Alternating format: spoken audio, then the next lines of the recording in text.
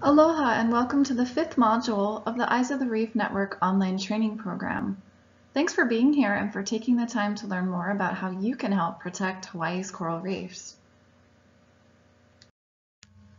You have reached the fifth module of this course, which will provide you with an overview of the ecology and impact of crown of thorns sea star blooms. If you have any questions during or after this training, please reach out to your local island coordinator for more information. Free training materials are available for you or your class, including underwater guides and training booklets. To find your nearest pickup location, please reach out to your local island coordinator. Contact information can be found at our website at eorhawaii.org. In this module, you will learn to recognize severe blooms of crown of thorns sea stars, which have fortunately been a relatively uncommon occurrence in Hawaii. Please remember that crown of thorns sea stars are a native coral reef species in Hawaii, so observing a few of them at your favorite reef site is completely normal. Because live corals are the primary food source of crown of thorns sea stars, large aggregations or blooms of this species can cause serious damage to coral reefs. The Eyes of the Reef Network requests that you only report crown of thorns sea stars if you observe more than 25 individuals during a normal reef visit. Please note that crown of thorns sea stars are sometimes referred to as COTS, and you may hear the term COTS used throughout this training.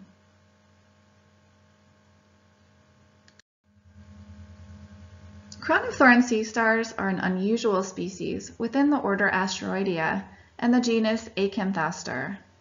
They have a unique morphology with up to 19 arms, which can regenerate if removed or damaged by predators.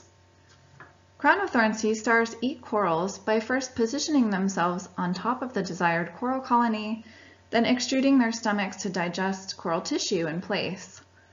Digestive enzymes are used to consume the live coral tissue, leaving behind only white coral skeleton, often in the shape of the animal. A very active sea star can consume up to 65 square feet of coral each year.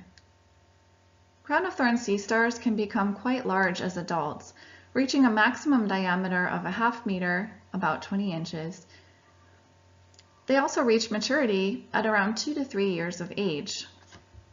Cots are very fertile and can produce around 14 million eggs per spawning event. However, the typical survival rate of larvae is extremely low. Only about two of these 14 million larvae survive on average. Because of this low survival rate, blooms, or large aggregations of this species, are often naturally avoided. Fortunately, large blooms of crown of thorns sea stars have been an uncommon occurrence in Hawaii. One of the most famous cases of a bloom spanned from 1969 to 1970 along the coral-rich southern coast of Molokai Island. During this bloom, more than 20,000 animals were reported along the shallow reef area, forming a band of animals approximately two kilometers in length. Over this two-year period, the sea stars focused their grazing activities on less common rice corals. An eradication effort was organized by the Hawaii Division of Fish and Game in 1970. After this bloom event, coral regrew quickly and fortunately, a major long-term loss in coral cover was not reported for this area. In 2005, researchers documented another crown of thorns sea star bloom along the northern coast of Oahu. Surveys indicated a density of approximately 1,000 animals per 5-minute survey tow, Similar to the Molokai bloom, predation focused on rice and cauliflower corals. More recently, increasing numbers of crown of thorns sea stars were observed on Hawaii Island following a severe coral bleaching event in 2015. Numerous reports were received by the Eyes of the Reef Network documenting relatively high numbers of sea stars at certain coral-rich embayments in West Hawaii. Reported sea star predation often focused on the remaining population of small branching corals, which declined drastically in some areas following the 2015 bleaching event. Since 2015, the recovery of small branching corals has been slow but steady in West Hawaii.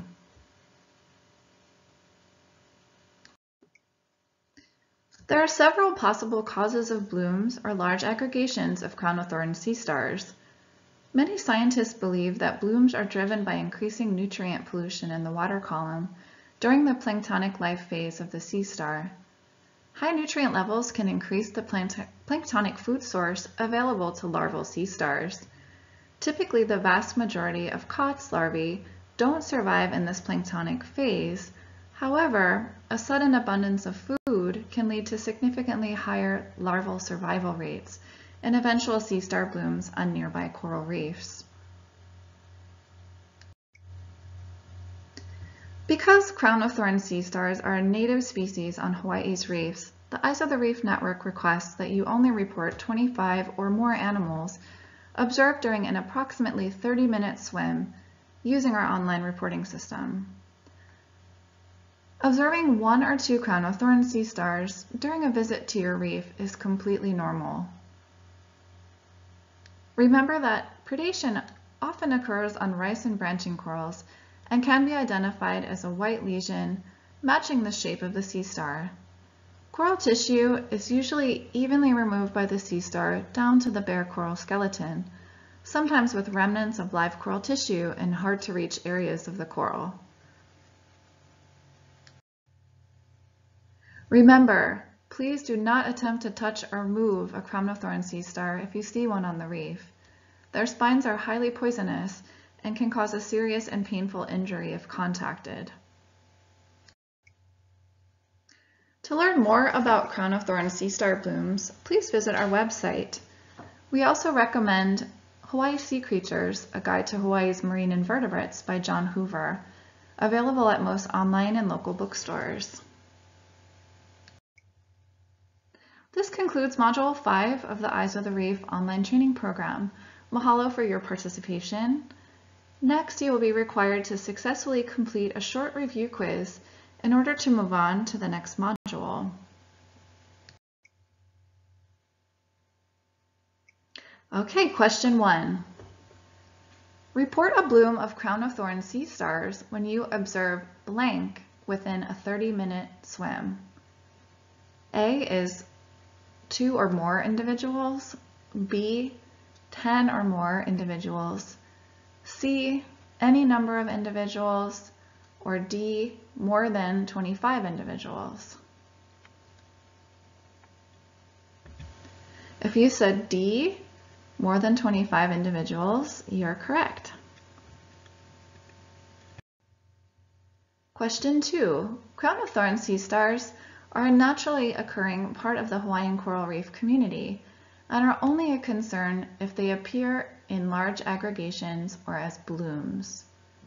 A is true and B is false. If you said A for true, you're correct. Question three, which of the following is an indication of crown of thorns sea star predation and not coral bleaching.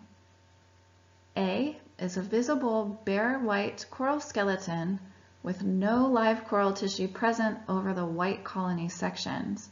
Sometimes live coral tissue is present in hard to reach areas. B, visible transparent live coral tissue and polyps on white colony sections. C, both of the above, or D, none of the above. If you said A, you're correct. Question four. The spines of a crown of thorns sea star are poisonous and can cause a painful injury if contacted. Choice A is true or B for false. If you said A for true, you're correct. How did you do on the quiz? If you missed more than a few questions, you may want to go back and review the materials in this module before moving on to Module 6. Mahalo for your participation in the Eyes of the Reef online training program. In the next module, you will learn more about algal blooms and marine invasive species.